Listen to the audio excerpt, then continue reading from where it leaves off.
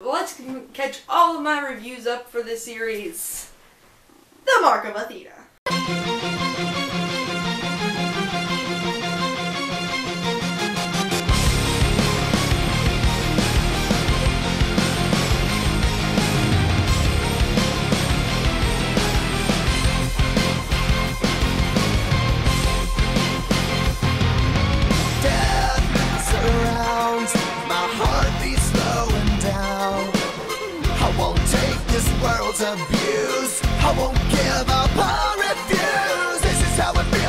Bent and broken. This is how it feels when your stolen. And everything you love is leaving. You hold on to what you believe in.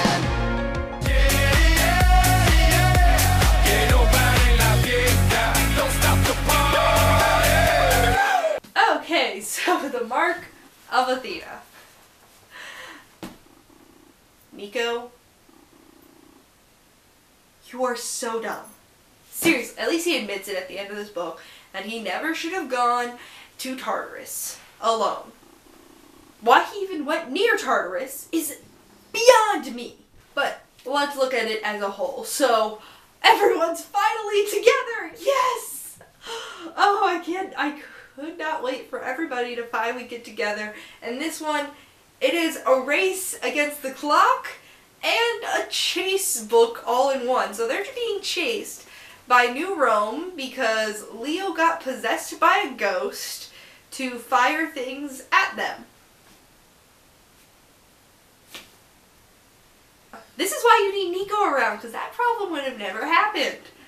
Of course, every time he gets captured, it's at the times when they need him.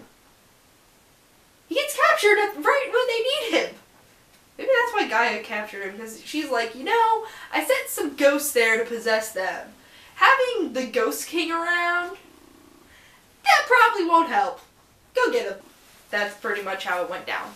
So until they finally got rid of the ghost, thank you, Piper. We that was like oh that was so creepy. Oh that was so creepy when they possessed Leo, um, Jason and Percy. Oh that's so creepy. This is why you need Nico around. Why do why is it that every time Nico's not around, their ghosts show up? Seriously, every time, every time.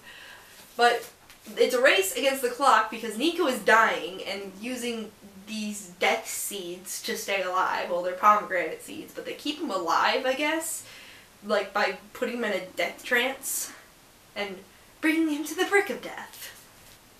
Isn't that lovely?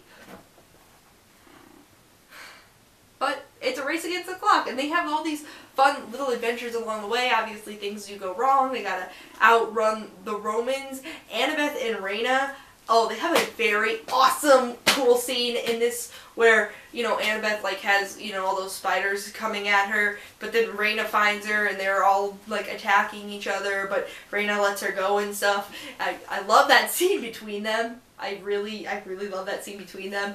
And then Jason and Percy fighting. Oh, I did not like that. I did not like that. This scene, right? That that scene, me no like. I no, I don't like it. Not at all. I don't. So I don't like that. It was a good scene to have, but I don't like it.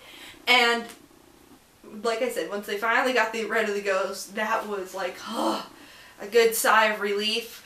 They had to get to Rome, which took them, well, like a week-ish. So they had to get to Rome. They had some like fun stops along the way. We got to see Hercules. He's annoying. Team Leo.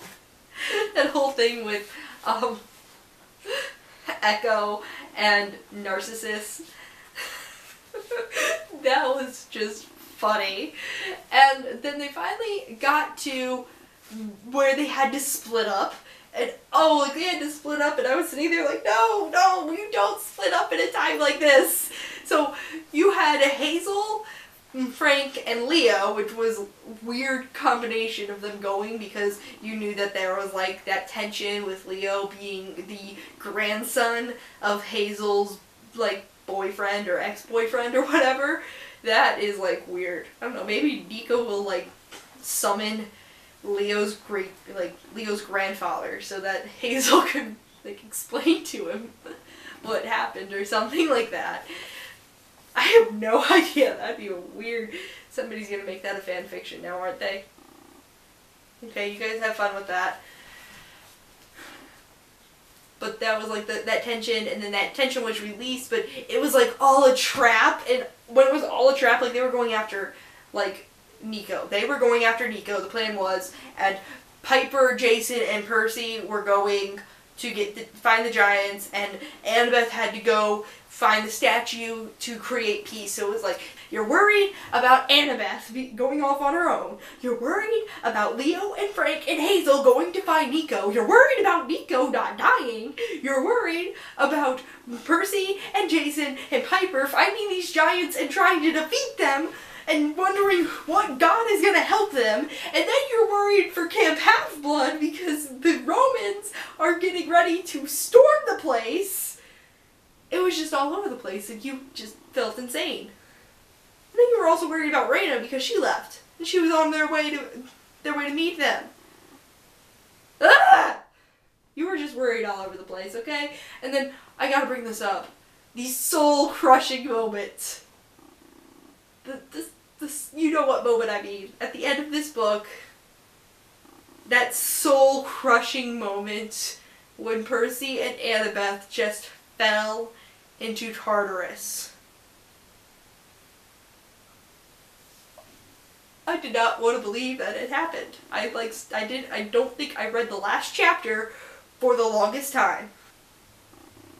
It was like just soul crushing. Like you felt like your soul went to Tartarus with them because you're just you were I was I was reading this and I was like no no no yes yes Percy Percy caught her okay good. Okay good. He's holding onto a ledge. He's he's got her and oh no she has that spider web around her. No no. Somebody cut it will you? And then you know Percy can't move and and and is all tangled in that spider web and you're like, no! And then Leo's controlling the ship, and Hazel realizes that, and Nico is coming over there and reaching down to pull him up, and you're like, yes, yes, Nico's gonna pull him up, but then he can't reach, and then you're go- you're back to no, and then Percy is just like gonna stay together, and then they just fall.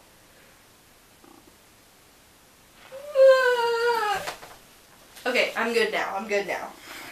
I'm good now. But that that was just soul crushing and so sad, but it was a good way to end the book and probably the worst cliffhanger ever. I remember the cliffhanger from The Son of Neptune. This one, this one, the Percy and Annabeth falling into Tartarus? No! No! But it happened.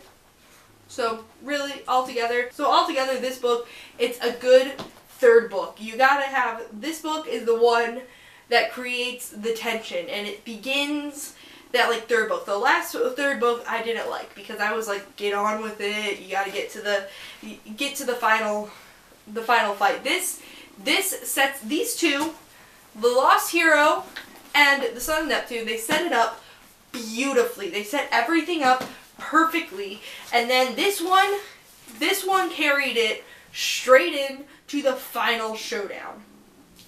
This one and the House of Hades, both of them together, carried it in to the final showdown for the Blood of Olympus. And I, I gotta say, I love this book. One of this one is still probably halfway. I like the Son of Neptune a bit better than this one, honestly, but it, I do like this one better than the Lost Hero. It does get slow at points and such, but you still love it. And I still love it. You still love it. We all still love it. Except that ending part, you really begin to hate Octavian in this book too. You really do. So I love how it continues it. I love how it brings them all together and it gives them that one goal for them all. Their goal to find Nico. Nico is like the bridge between both of them, between the Greeks and the Romans, really, because Nico, like, I know Jason and Percy were supposed to be the bridge, and Hera doesn't like Nico, but really, it would have just been so much easier just to have Hera be like, "Hey, Nico, so I need you to explain Greeks to Jason and Reyna. Okay? Cool? But I get where she was coming from a bit, but still, that would have just been so much simpler. So much simpler. And it would have avoided him having to go to Tartarus, but then he wouldn't have found out about the Doors of Death, and. so confusing, so confusing. But that is the mark of Athena. Great, great book, great carrying on and, and getting the quest started. It just forwards ahead right into the ancient lands and right into the quest. So I love it. I love that the characters are developing more. Having so many characters, you gotta still develop them, and developing our old characters, that's even harder. But I love that the Rick Riordan managed to pull it off. So that's the mark of Athena, and that is the end of our book reviews. Wow, I got I've got everything caught up, and we're oh, and we only have one character review for left for Magnus Chase. It's crazy, really crazy. But that's it for today. Remember, you can also leave your comments in any one of my videos if you want to say thank you to Rick Riordan for my video on May 3rd. If you don't know what I'm talking about, there's a link to the, in the description to my sneak peek and Magicians and Demigods book review. If you want to know more about it, just go to the end of the video after I tell you how many days are left to, to hear more. So, thanks for watching. Bye!